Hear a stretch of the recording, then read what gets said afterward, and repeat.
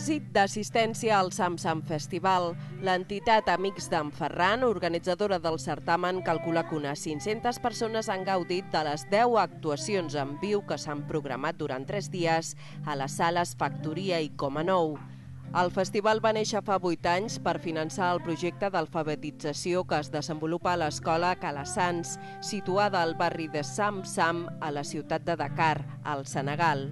I aquesta escola eh, el que fa és escolaritzar els alumnes que no pot escolaritzar l'escola pública. Per fer un exemple, si entre, i parlem de nanos entre 8 i 12 anys, si de cada 100 nanos que hi ha al barri, uns 30 acull l'escola pública.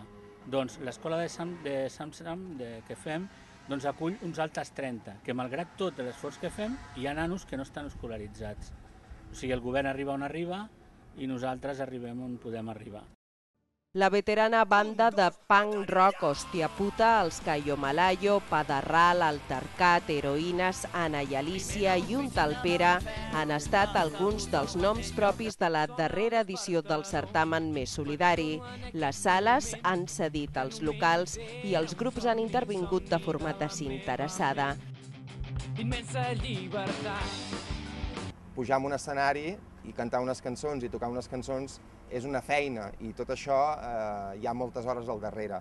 Per tant, agrair també a tots aquests grups que de forma desinteressada s'han prestat a venir a tocar, eh, vaja, sí o sí el Samsam Festival, que ja d'alguna manera musicalment també s'està convertint en un, en un referent de, de festivals de música del Vallès Occidental. No? El preu de l'entrada per a cada dia de concert ha estat de 5 euros.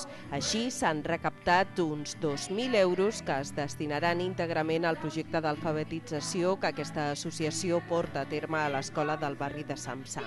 Que aquesta flama, tant dels que estan, del munt de gent que hi ha darrere, que cada any, de forma més eh, o menys, amb més o menys disponibilitat, doncs eh, eh, utilitzem el nostre temps tal com hi ha això, que es mantingui aquesta flama, que es pugui mantenir la flama del públic que coneix el Samsung Festival, del públic que sap que quan arriba el Samsung Festival algun dels dies es pot deixar caure per, per la sala.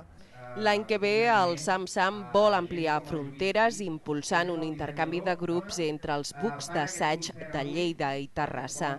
Amics d'en Ferran fa 8 anys que organitza aquesta programació de música solidària per aconseguir fons pels seus projectes.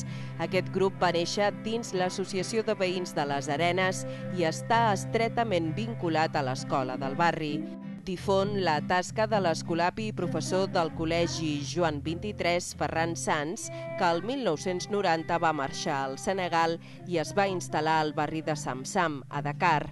El 1996 comença a funcionar l'escola de Calassans.